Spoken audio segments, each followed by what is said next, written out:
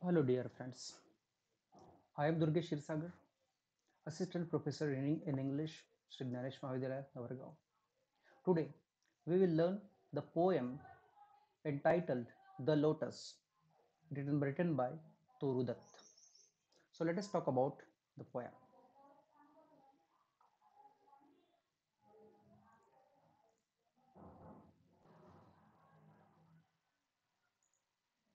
Friends, Toru Dutt is an uh, Indian poetess, Indian uh, poet, Indian writer who wrote two novels and many poets, many poems. Sorry, uh, you can see the image, the photo of Toru Dutt over here. Let us talk about the poetess. Uh, as far as Toru Dutt is concerned, she is one of the famous Indo-Anglian poets. What is mean by Indo-Anglian? So the friends, Indo means Indian, who is born in, in India, and Anglian, Anglian means uh, English, born in India and brought up in other countries, foreign countries, especially where the English is the language English is spoken. It's called Indo-Anglian poet. That is why it is called Indo-Anglian. Born in India and brought up in other countries. The next one is uh, her family converted to Christianity in 1862. As as we come to know, the surname Dutt is considered is from the Hindu family. But as but her family is converted into Christianity. The Christian religion has been accepted by her family in 1862. That is the story behind uh, what we call uh, her language, or we can call the poetess has brought up in other countries and learnt in other countries accepted imitate imitated the or literature read the literature and started to write in english. The next thing about her is she never lost in touch with uh, hindu religion. Though she brought up in other countries like french like uh, um, england but she didn't lose the touch with the Hindu religion. She was connected with Hindu religion and she was much inspired by Hindu mythology. Most of the poems of the poetess have an Indian theme, an Indian background. There are so many poems written by Toru Dutt, and most of the poems by Toru Dutt have the Indian theme, Indian background is there. Indian mythology uh, has been highlighted in her poem. She wrote a poem on Sita. She wrote poem on lotus ear. So Indian myth is there, Indian theme is there in uh, so many poems by uh, Toru Dutt. Uh, as far as uh, the poet is concerned, she was the first Indian woman poet to write in English. Uh, this is the very uh, great uh, thing. This is the very um, what we call the um, praiseous thing that uh, she was the first Indian woman poet who wrote in English, the, the Indian one. She is often referred to as Keats of Indo-English literature. Now, this Keats of Indo-English literature, it means there was a poet called John Keats. Now, there is a similarity in between John Keats and uh, Toru Dutt. John Keats, he died at the age of uh, 24 or 25, early his younghood. And in the the, the same story uh, goes for Toru Dutt. She also died at the age of 21. He was also poet, and as far as Toru Dutt is concerned, she was also a poet, uh, known as a poet. So that is why this similarity is concerned. By taking this both similarities, she is often referred as Keats of Indo-English literature. These two things. Let us turn towards uh, another information.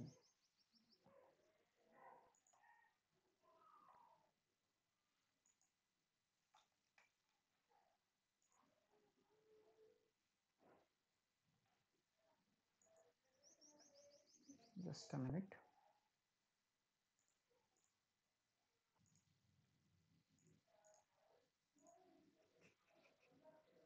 Uh, let us talk about, about again the poetess. Uh, friends, she wrote in both English and French. As I already told you, the writer, the poetess, went abroad for the study as her parents were there in abroad in foreign. Uh, that's why she learnt French language, Spanish language, English language, and that is why she, she uh, started to write her poetry in English and French language. And uh, as far as not poetry, but uh, there are two novels written by Toru Dutt. They are this is the first one, The Young Spanish Maiden. It is an unfinished novel. And the next one is Le Journal de uh, Mademoiselle. It is published posthumously. The posthumously means something which is published posthumously is it means that after the death of the writer if something published if if if, if something comes out that is called posthumously posthumously means after death as I already told you, she died at the age uh, at the young age of uh, 21 years. And Toru Dutt's death, uh, after after Toru Dutt's death, after the death of uh, the poetess, her father discovered some ancient ballads written by herself. So, and they are they they were also published by her father by uh, the publisher posthumously. Again, the the posthumously word is very important over here uh, this is about the poetess. Now let's talk about the poem.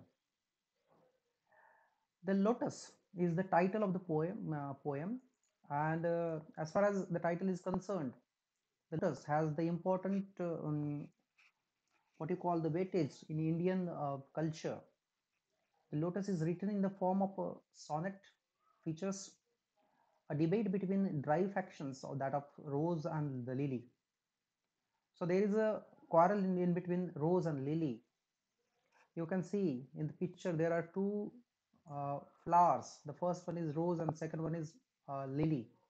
So these two flowers has uh, the debate over who is the best one and uh, they compete for the title of undisputed queen of flowers Everyone wants to be queen of the flowers, even as love considered the merits of both flowers.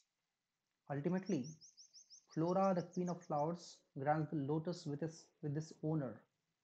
Now here, uh, before learning poem, we must know there are god and goddesses in mythology. As far as Greek mythology is concerned, or Indian mythology is also concerned, we have also god and goddesses like Ram, Lakshman, Sita, Vishnu, Brahma, Mahesh. And uh, in Greek mythology or in other country, they have their own uh, god and goddesses. So here, as I already mentioned, these two flowers debate over the title of undisputed queen. Uh, let us see what happens this is um, this is the stanza number one and uh, there is again stanza stanza two. So both the stanza have 14 lines. And if a poem written in 14 lines it's called a sonnet i, I already uh, taught in the uh, classroom that if a poem has 14 lines it it is considered sonnet. There are two types of sonnet. The first one is shakespearean sonnet and the another one is italian sonnet or petrarchan sonnet. So let us see uh, if you count the line 1 2 3 4 5 6 7 8 eight lines are there in stanza number 1 it is called octave And there is again stanza 2, 1, 2, 3, 4, 5, 6. There are six lines in stanza 2 that is called sestet. And as far as this uh, sestet is concerned or octave is concerned, let me tell you about the uh, stanza. The poem is written in Petrarchan sonnet. We, we, can call it uh, Italian sonnet, and the rhyming scheme of it, Petrarchan sonnet is A B B A A B B A C D C D C D. This is, this is uh, considered octave and sestet. Uh, first of all, we will read the uh, poem. Let us read the poem. Love came to Flora asking for a flower that would a flower be uh, undisputed queen. The lily and the rose long, long had been rivals for the high honor. Bards of power have sung their claims. The rose can never tower like the pale lily with her Juno mane. But is the lily lovelier? Thus between flower fractions rank the stripe in Psyche's power. Give me a flower of delicious rose, and stately as the lily in her pride. But of what color? Red rose. Rose red, love first choice, then pride. No lily white, or both provide. And Flora gave the lotus rose red dyed and lily white, queenliest flowers that blows.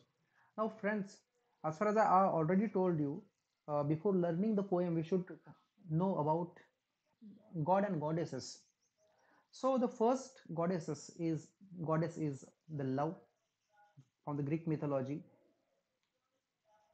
The second one is Flora. Love comes to Flora and tells Flora that let us uh, decide who is the queen of all the flower. There is again another one uh, goddess named Juno. Uh, Juno is a is actually a, a wife of Jupiter and there is another one um, goddess is highlighted mentioned in the poem is psyche. Uh, here we can consider psyche and love. Both are uh, similar here.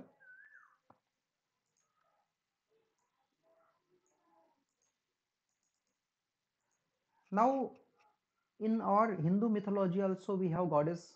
You can see on the screen there is saraswati.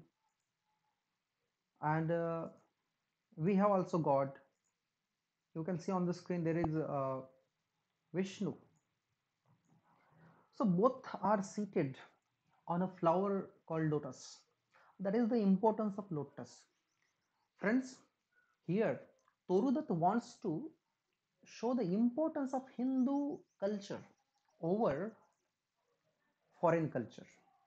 Toru Dutt wants to show the importance of Hindu mythology over uh, mythology of abroad whatever the importance is given by the greek people by the foreign people to their own mythology. Here she wants to prove that indian indian mythology is also that strong. And here that is why she considered lotus as the uh, queen of all the flower. Let us see let us uh, turn towards the stanza number one over here. Let me read. Let, let, let us go line by line. Love came to Flora asking for a. Now, goddess love. Love is not actually a love. Love is the name of goddess here, and Flora is not actually the flora. Flora means what we call the flowers and all that green green plants and all trees. But Flora is actually here the name of the goddess. So here, two or three names you have to consider as goddess. The first one is Flora, second one is uh, Love, next one is Juno, and the another one is Psyche. These four goddesses uh, have been mentioned in the poem by Toru Dutt. Love came to Flora asking for a flower. Now the goddess Love came to Flora. Flora is also a name of goddess. And she asked the question that would be the flower that would of the flower be undisputed queen. Now she tells that let us let us decide a flower which would be the undisputed. Undisputed means nirvivad. Let us come to the Marathi over here. Love नावाची देवी जी आहे ती flora नावाच्या देवीकडे येते आणि ती म्हणते की चला आता आपण एक फूल निवडू की जो सगळ्या फुलांची राणी म्हणून गणला जाईल निर्विवादपणे the lily and the rose long, long had been rivals for the high honor. Now, here, rivalries fight. These two flowers, the first one is lily and the second one is rose, they are fighting. They have been fighting since many days, from the long ago. They are fighting for this, uh, what you call the title. What is the title? Queen. And whenever you get the title as the queen, whenever you get the title as the higher superior, it is high honor to to that particular flower. That is why there is a there is a war in between lily and rose. Two flowers are fighting each other, and uh, this is going on in between them. Bards of bards of power had sung their claims. Now here bards, bird is actually a bird, but here we could come to know that in English literature there were poets. They are considered as bard, like Shakespeare, like uh, William Wordsworth, like uh, John Keats. These romantic poets highlighted their own flowers for love. Some some of the poets highlighted rose is the best flower. Some poets uh, narrated in their poems as lily is the best flower, and they considered is the uh, flower of love. That, is why these bards of power had claims claims according to their own uh, consideration. The rose can never tower like uh, the pale lily with her Juno mane. There is a uh, there is a flower. Some some some some some poet says that uh, rose cannot be towered like lily. Let us come to Marathi. Uh, भरपूर असे कवी आहेत की ज्यांनी गुलाब पुष्प याला अव्वल दर्जा दिलेला आहे आणि काही लिली काहींनी लिली हा पुष्पाला म्हणजे अव्वल दर्जा दिलेला आहे आणि काही लोक काही काही कवी असे म्हणतात की फूल जो आहे हा गुलाब जो आहे हा गुलाब लिली सारखा उंच जाऊ शकत नाही. सरळ ताट प्राईडने अभिमानाने उभा राहू शकत नाही. आणि काही लोकांचं म्हणणं असं सुद्धा आहे की लिली जो आहे तो गुलाब एवढा गुलाबा एवढा प्रेमळ नाही. Because in every love love situation we go with rose flower and all that that that has been considered um, according to tradition. So the rose can never tower like lily, uh, pale lily with her Juno man. Here, Juno is actually a name of goddess. I had already uh, shown you the image of Juno, but is the lily lovelier? Thus, between the flowers faction rank the strike and Psyche's power, and every flower, every flower is fighting in front of the god Psyche. As I already told you, love and Psyche can be considered one. So let us imagine that there are two or three goddesses, and in front of them there are flowers, and they are fighting each other that I am the queen, I am the queen. So let us turn towards, uh, as I already mentioned, this is the octave. The first stanza is octave. There are eight lines, and they are considered octave and in uh, every sonnet we can call the william shakespeare has written the sonnet. And uh, the though the uh, rhyming scheme is different there are the same uh, structure of the poem has been highlighted. The first stanza of eight lines they, that is called octave. The second one is of six lines that is called sestet. So here flower and power is rhymed tower and bower is rhymed queen and bean is rhymed and main in between is rhymed. So the flower is considered a, queen is B, bean is B, A. So the rhyming scheme is A, B, B, A. The second one is again, we can see this second one is also A, B, B, A. In the same way, it is octave. Let us turn towards the next uh, stanza. stanza number 2 over here stanza 2 has six lines. And if in a stanza there are six lines it is, it is called sestet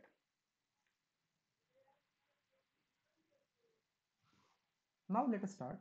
Give me a flower of delicious as rose and stately as the lily in her pride.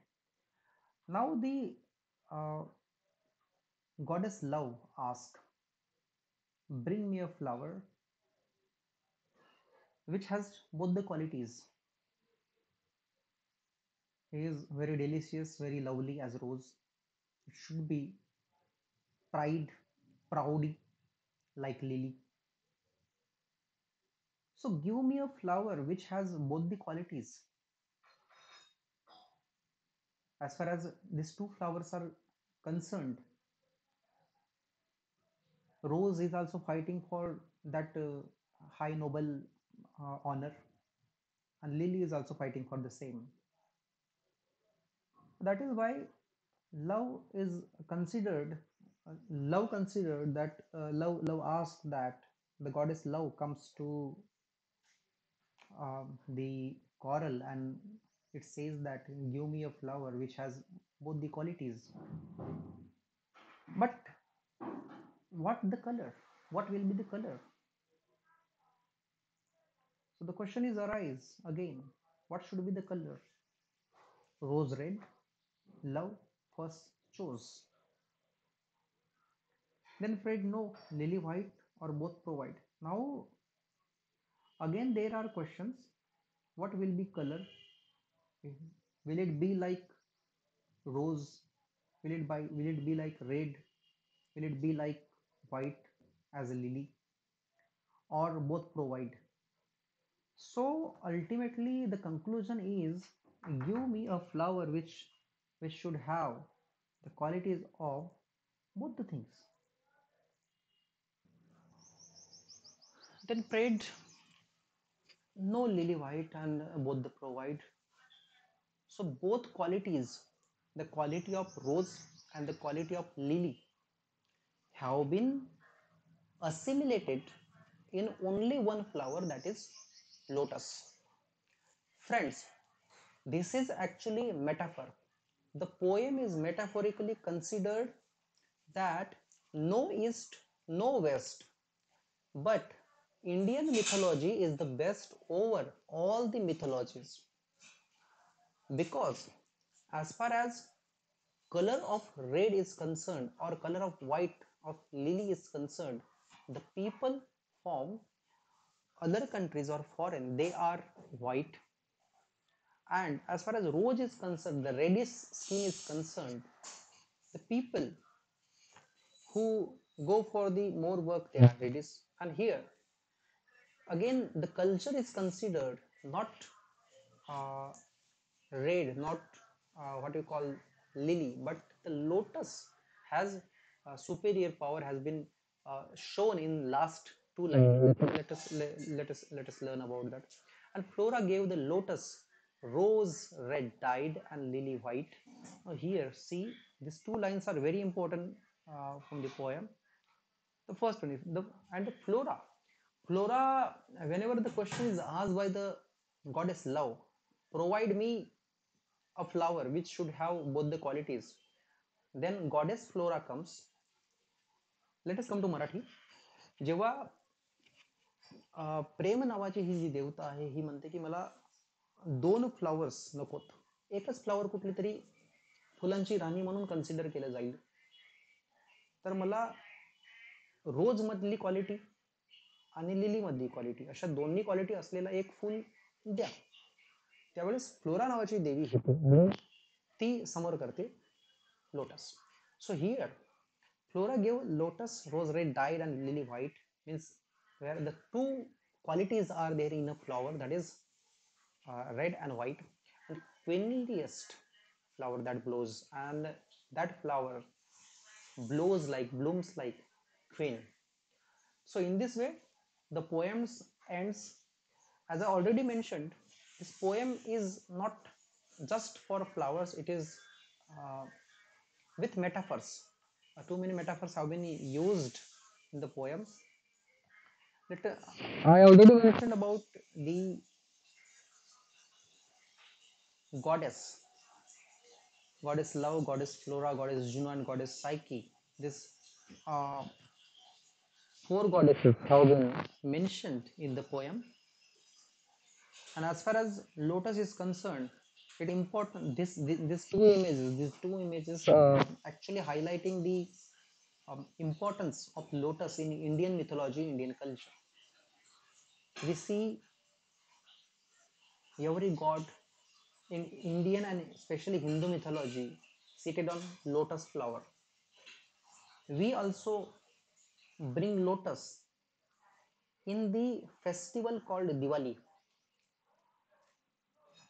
It is considered that goddess Lakshmi sits on lotus.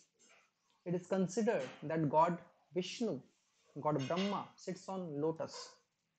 And it is highlighted the importance of Hindu mythology, the Hindu culture. And Hindu culture is nothing but the Indian culture basically. So let us go for some of the comments on uh, the, this poem.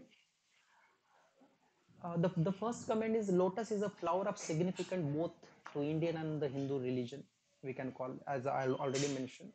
And this poem is written in Petrarchan sonnet A B B A A B B A C D C D C D C D, and this is the octave and sextet.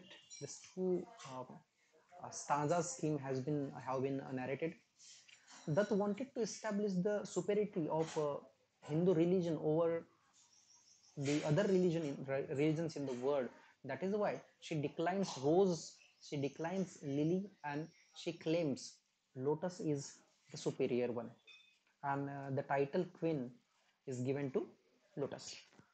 The color of the flowers calls to mind the privileged position europeans gave people best on this green color. As i already mentioned uh, europeans or basically uh, americans also they gave the importance to their color of the skin. As far as indian are concerned we are the mixture of both. We are the mixture of uh, what we call white and black. So our skin is brownish brown color we can call. So brown is a symbol of here lotus we can call because in lotus there is a mixing of lily and rose as far as color is concerned. Lotus is symbol of hindu faith indian culture and indian religion. Hindu religion basically not indian uh, religion the hindu religion is considered is symbolizes india and indian nationalism. Uh, let's go for the another comment. The lotus also indicates a fusion between east and the west. And rose stand for eastern race. Native india because of its reddish skin as i already mentioned reddish skin or brownish skin lily indicates western race because of its white color. In all this manner lotus has given a very important role and the poetess toru dutt wants to exaggerate not the exaggerate want to highlight it or narrate the uh,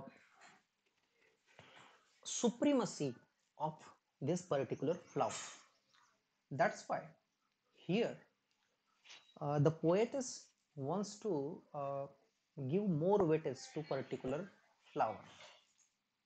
In this way we have uh, mentioned about the poet about the poem and all the manner have been completed over here.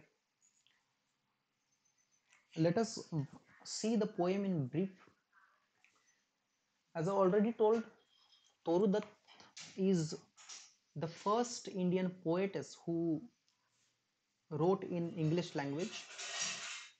She uh, she converted into into christianity and uh, in uh, something 1862 she went to abroad in foreign and uh, started to learn english and french languages and started to write in that particular languages she is often referred as the Keats of Indo-English literature. You have to keep in mind she is uh, considered Keats of uh, Indian literature we can call.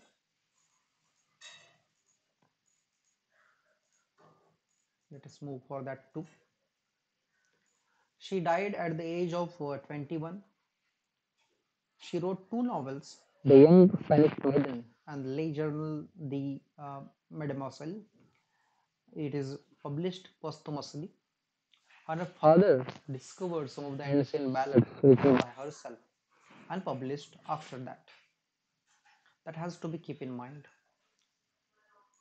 So these two things are there, very important. And the next one is, uh, I already told you there is a quarrel in between Rose and Lily for the title of undisputed queen. You have to keep in mind. This is the uh, stanza in oct- there are eight lines the rhyming scheme is AB, AB, AB, AB. This is the stanza number 2. There are six lines, it is called sestet and the rhyming scheme is accordingly. It's a Greek mythology. There are four goddesses which have been uh, highlighted in the poem. And in Hindu mythology, what is the uh, importance of lotus has been narrated through these pictures.